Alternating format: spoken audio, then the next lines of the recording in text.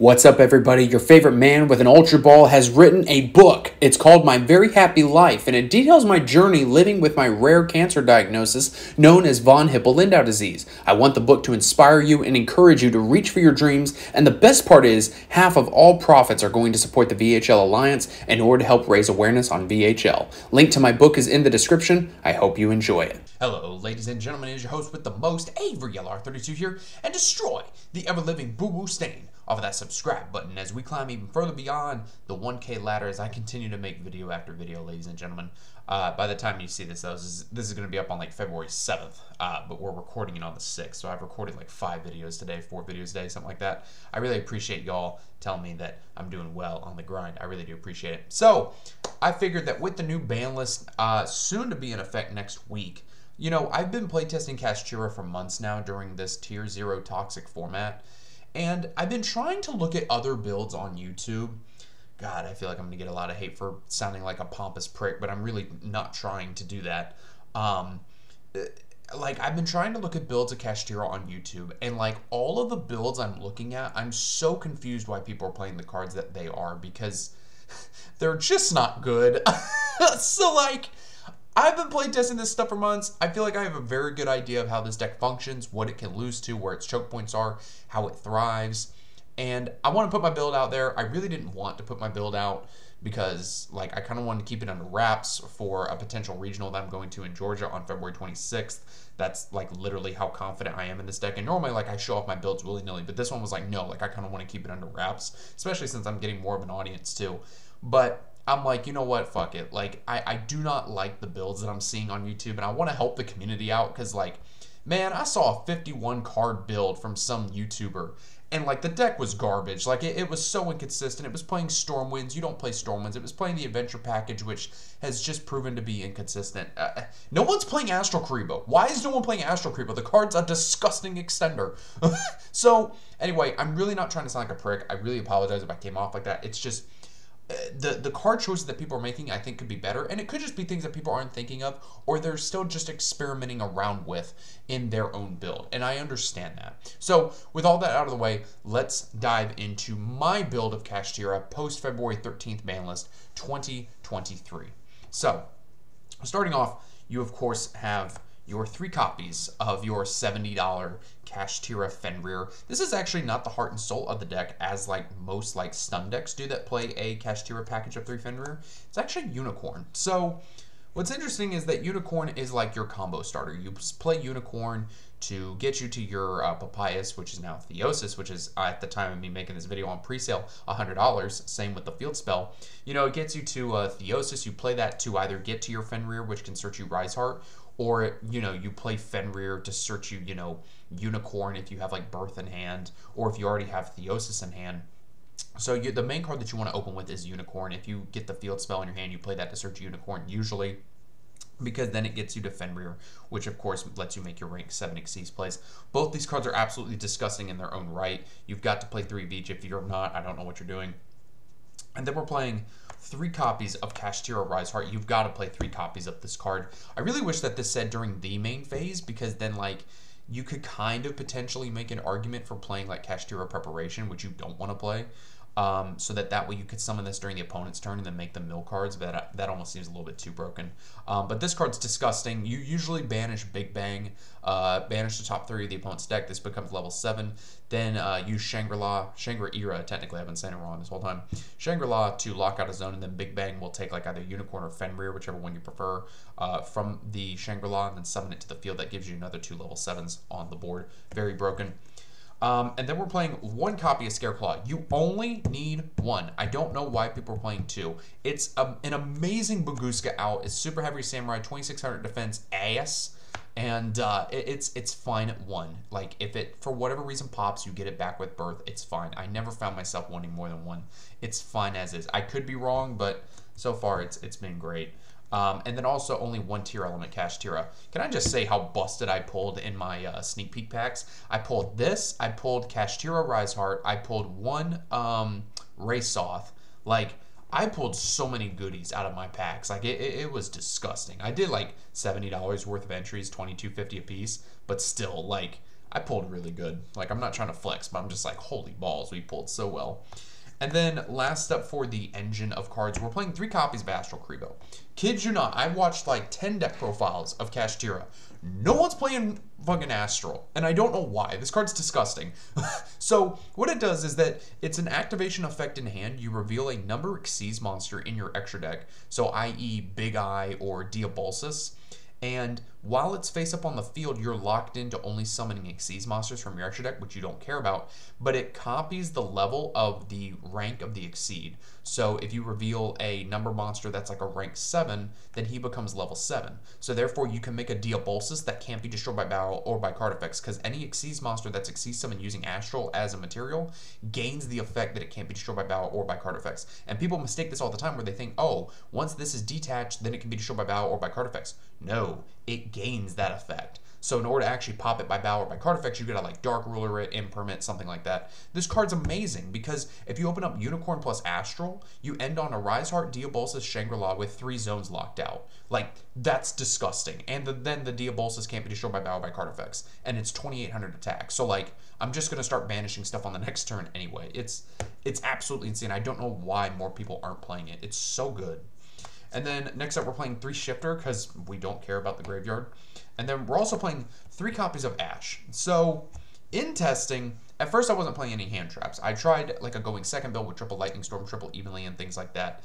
And what I ended up realizing is that this deck kind of has to play like a control stun deck, or kind of like how Sprite's going to have to be played now, where you play a decent amount of hand traps to help slow down like whatever the opponent tries to do so that you have the chance to play on your turn.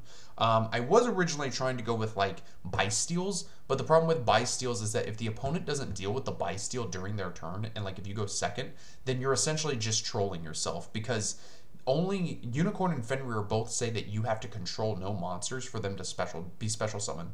So if you have like a Magnuma and you hit like a Sharon against a Tearlament player with a Magnuma and they just pass turn and you draw, okay, you have a Magnuma and then you search a Druiswurm at the end phase, but that's the only monster you can play unless you're able to hit a birth off of Prosperity or by opening it, and you only play two birth. You don't want to play three because it's bricky. So basically, in theory, the deck can't play Bystials. It can't main deck Nibiru.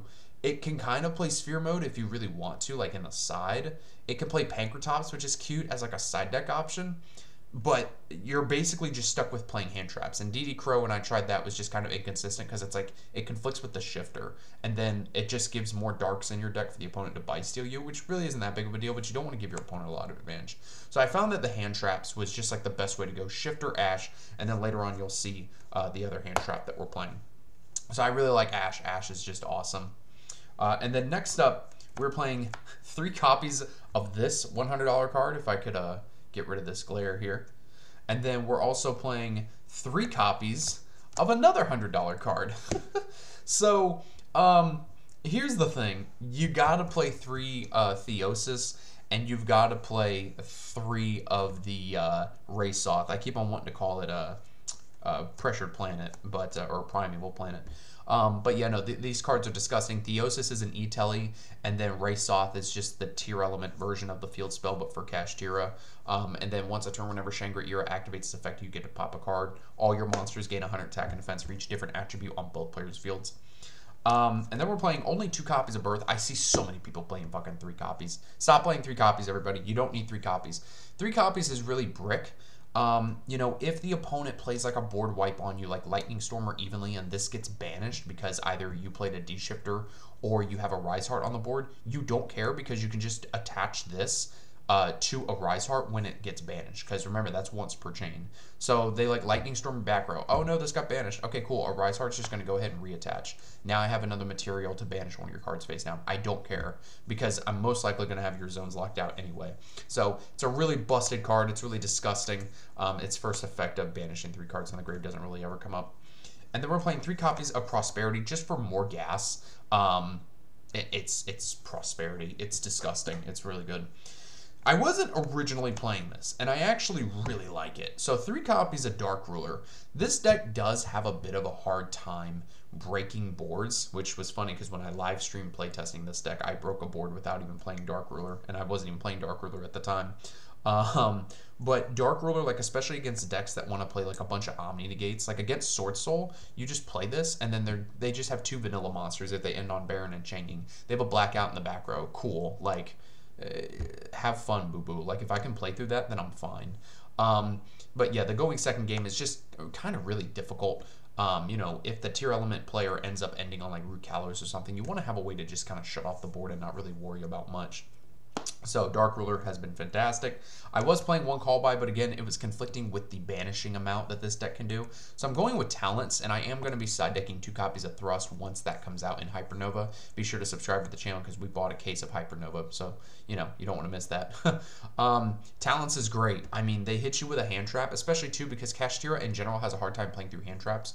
Um, Talents is just so good. Rip, shuffle a card back into their deck you know, take control of a monster, draw two. It's it's it's talents. It's disgusting. Terraforming because you know you want four copies of the field spell, and then these are actually three copies of Imperm. Just you know, we're, we're playing three Imperm. They're they're on the way in the mail. Um, they're just kind of irrelevant cards that I threw in. And then last but not least, we're playing one copy of Big Bang. It's basically an evenly matched, but for monsters, if you control and exceed, it's really not that good. Um, it's basically for those situations when you only end on like a Shangri-Ira. Um, but the, like that never really comes up. Usually the opponent's just got a lightning storm or try and evenly match you, which this deck does get blown the fuck out by. Uh, for the extra deck, we're playing two copies of Shangri-La. Uh, two's fine. Uh, we're playing two copies of Diablosis because it's good. Uh, my, my stuff's still coming in the mail. Don't don't judge me. Two copies of Arise Heart because we pulled one in our premiere pack or sneak peek, whatever it is these people call it these days. Two copies of Flare Metal because I want to win in time. Uh, two copies of Big Eye because taking control of your stuff is fun. Uh, and then one copy of Dracossack. You're also playing one of the Harmonizing Gradle. You're playing two Zeus, and then from that point, like you pretty much just fill your extra deck up with just rank 7 Exceeds.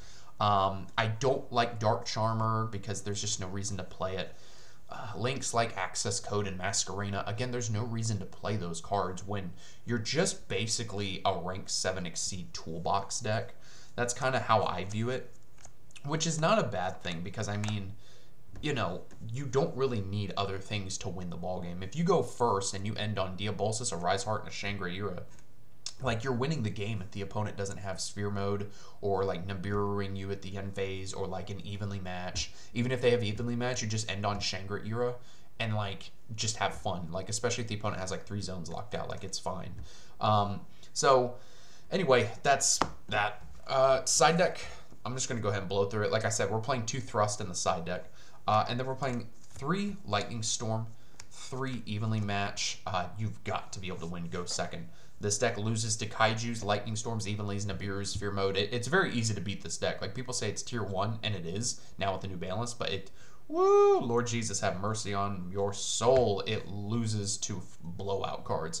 Three Judgment, because you've got to beat those blowout cards.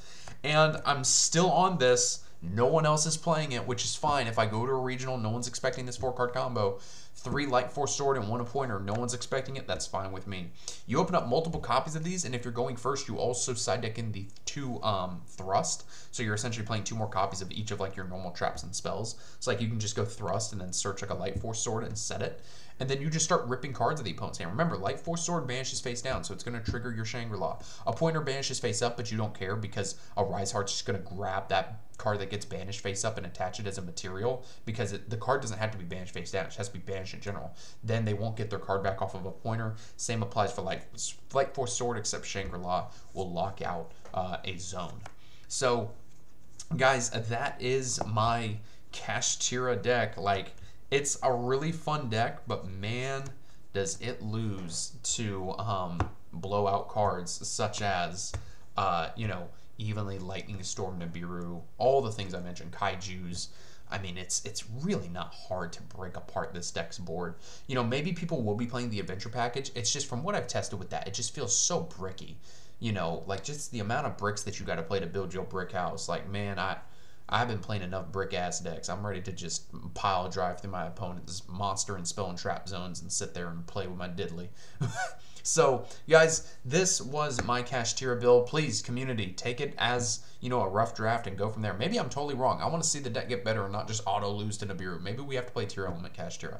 I don't know. But for now, this is the best that I can come up with. Guys, let me know what you think down in the comments below. Thank you so much for watching, and I will see you in the next video.